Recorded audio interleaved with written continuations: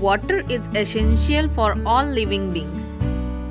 We can't live without water, right? In this video, we will learn about filtration of water. Cut an empty 1 liter bottle into half. Place the bottle upside down and put cotton. Pour sand to filter out fine impurities.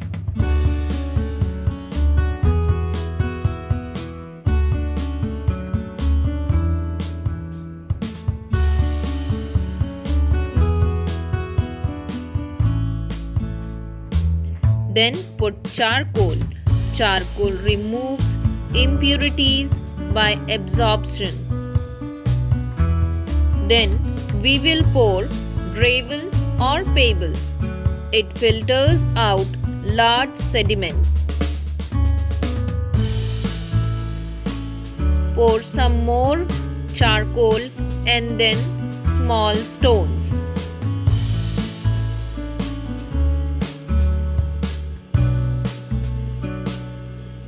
Dear children, now take impure water.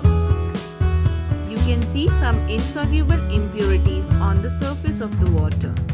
How we can remove them? Let's see. Gravel or pebbles filter out larger sediments. Sand to filter out fine impurities. Charcoal removes impurities by absorption. Once all the water has passed through the filter, compare the dirty water with the filtered water. Please note, this filtered water is still not safe for consumption. It's advisable to boil the water before drinking. Thank you dear children. Have a wonderful learning day.